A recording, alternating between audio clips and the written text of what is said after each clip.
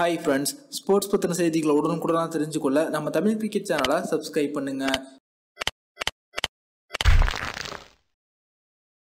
Hi friends நாம இப்போ இந்த வீடியோவில் பார்த்தீங்கன்னா ஐபிஎல் போட்டிகளில் மும்பை இந்தியன்ஸ் அப்படின்ற ஒரு மிகப்பெரிய அணிக்காக பெரிய தொகை கொடுத்து ஏலம் எடுக்கப்பட்ட முக்கியமான மூன்று வீரர்கள் வந்து சொதப்பி அந்த அணியிலிருந்து நீக்கப்பட்டிருக்காங்க.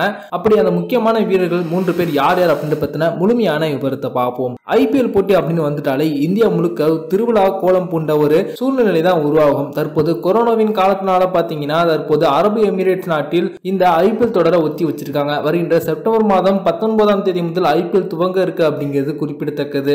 ஐபிஎல் தொடர்பான அறிவிப்புகள் வந்த நாள் முதல் இருந்தே ஐபிஎல் தொடர்பான அதிகமான செய்திகளும் தற்போது வந்து கொண்டுதான் இருக்கு. அதன்படி தான் தற்போது நாம மும்பை இந்தியன்ஸ் அணிக்காக முக்கியமான மூன்று வீரர்கள் விளையாடி அவங்க அதை சரியாக பயன்படுத்தி கொள்ளாமல் அந்த அணியிலிருந்து நீக்கப்பட்டது யார் அப்படின்னு பார்ப்போம். இதுல மூன்றாவது இடத்துல பாத்தீங்கன்னா ஆரோன் ஃபின்ச். தற்போது டி டுவெண்டி போட்டிகள்ல துவக்க வீரரா ஒரு மிகப்பெரிய தடம் படித்த ஒரு முக்கியமான வீரர் தான் ஆரோன் ஃபின்ச். இவர் ஆஸ்திரேலிய அணிக்கு லிமிடெட் ஓவர்ஸோட கேப்டனாகவும் இருக்காரு. இவர் இரண்டாயிரத்தி ஐந்தாம் ஆண்டு பாத்தீங்கன்னா மும்பை இந்தியன்ஸ் அணிக்காக மூணு புள்ளி இரண்டு கோடி ரூபாய் கொடுத்து அந்த அணியின் துவக்க வீரர் தேர்வு செய்யப்பட்டாங்க. ரோஹித் சர்மா அவர்களுக்கு பிறகு அந்த அணியில் ஒரு முக்கியமான வீரராகவும் இவங்க வந்து பார்க்கப்பட்டாங்க. ஆனால் அதன் பிறகு அவங்களுக்கு கால் பகுதியில் காயம் ஏற்பட்டதன் காரணத்தினால வெறும் மூன்று போட்டிகளில் மட்டுமே அவங்க மும்பை இந்தியன்ஸ் அணிக்காக விளையாண்டாங்க. அதுலயும் பெரிய அளவில் அவங்க ஸ்கோர் செய்யவில்லை அப்படிங்கிறது குறிப்பிடத்தக்கது.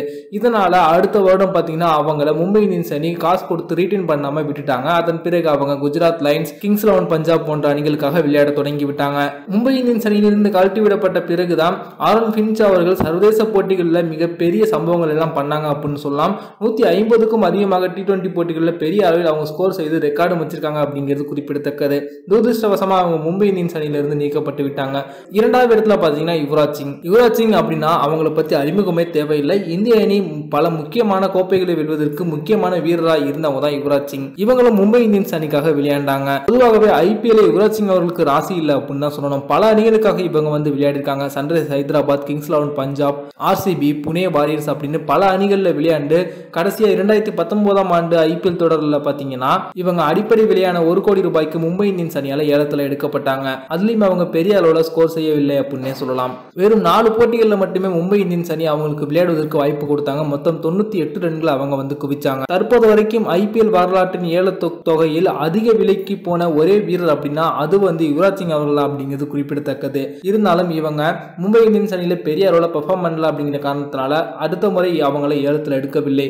அதன் பிறகு அவங்க வெளிநாட்டு தொடர்களில் விளையாடுவதற்காக ஐபிஎல் போன்ற உள்நாட்டு தொடர்களில் விளையாடுவதை நிறுத்திவிட்டதாகவும் அறிவிச்சிட்டாங்க. முதல் இடத்துல பார்த்தீங்கன்னா கிளன் மேக்ஸ்வெல் தற்போது லிமிடெட் ஓவர்ஸில் ஒரு அதிரடியான பிளேயர் அப்படின்னா அதில் கண்டிப்பாக கிளன் மேக்ஸ்வெல் அவருடைய பெயரும் இடம்பெற்றிருக்கும். ஆஸ்திரேலியாவின் முக்கியமான ஒரு தூணாகவும் இவங்க வந்து விளங்கி கொண்டிருக்காங்க. இரண்டாயிரத்தி பதிமூணாம் ஆண்டு ஐபிஎல் தொகை ஏலத்தில் பார்த்தீங்கன்னா இவங்க அதிக விலை கொடுத்து மும்பை இந்தியன்ஸ் அணியால் வாங்கப்பட்டாங்க. வெறும் மூன்று போட்டிகளில் மட்டுமே இவங்க வந்து விளையாண்டாங்க. வெறும் முப்பத்தி ஆறு ரன்களை மட்டுமே இவங்க வந்து அடிச்சாங்க அப்படிங்கிறதும் குறிப்பிடத்தக்கது. அடுத்த சீசனில் இவங்க பார்த்தீங்கன்னா மும்பை இந்தியன்ஸ் அணியில் இருந்து கழட்டி விடப்பட்டு மீண்டும் அவங்க பஞ்சாப் அணிக்காக விளையாட போய்விட்டாங்க. ஆனால் அங்கே போய் இவங்க பார்த்தீங்கன்னா அந்த சீசனில் இரண்டாயிரத்தி பதினாலாம் ஆண்டு ஐநூற்றி ஐம்பத்தி இரண்டு ரன்களை குவிச்சாங்க. அவங்களுடைய ஸ்ட்ரைக் ரேட் அந்த சீசனில் நூற்றி எண்பத்தி ஏழு புள்ளி ஏழு ஆறாகவும் இருந்தது. அவங்களுடைய அதிரடி அதிரடியின் மூலமாக அந்த சீசனில் இறுதிப் போட்டி வரைக்கும் பஞ்சாப் எட்டாங்க அப்படிங்கிறது குறிப்பிடத்தக்கது. அந்த சீசனில் அவங்க நாலு முறை ஆட்டநாயகன் விருதையும் வென்றாங்க. தற்போது இருக்கக்கூடிய மும்பை இந்தியன்ஸ் அணியில் மேக்ஸ்வெல் போன்ற ஒரு வீரரும் இணைஞ்சிருந்தாங்க அப்படின்னா அவங்க மேலும் ஒரு அசைக்க முடியாத வலுவான அணியாக ஐபிஎல்ல உருவாகியிருப்பாங்க. ஆனால் ஆனா அவங்க மேக்ஸ்வெல் அவர்களையும் கலட்டி விட்டுட்டாங்க. தற்போது இந்த வருடத்திற்கான ஐபிஎல்லில் அவங்க மீண்டும் பஞ்சாப் அணிக்காக விளையாட காத்து கொண்டிருக்காங்க அப்படிங்கிறதும் குறிப்பிடத்தக்கது. இந்த வீடியோ உங்களுக்கு பிடிச்சிருந்துச்சுன்னா லைக் பண்ணுங்கள் ஷேர் பண்ணுங்கள் நன்றி.